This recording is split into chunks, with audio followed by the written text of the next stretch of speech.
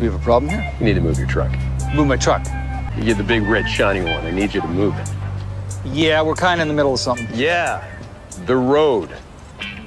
You've got the entire artery shut down with traffic backed up for over two miles. Why don't you take your truck, move it to the side, and you can be special right over there.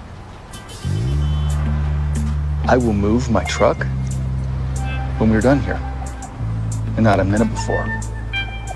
You are in violation of section 546007B, nuisance obstruction on a thoroughfare.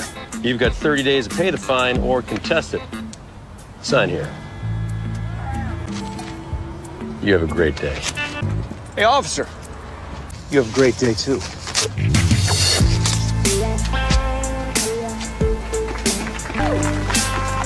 Let's get back to work. This is gonna be great. This is this is gonna work out really well.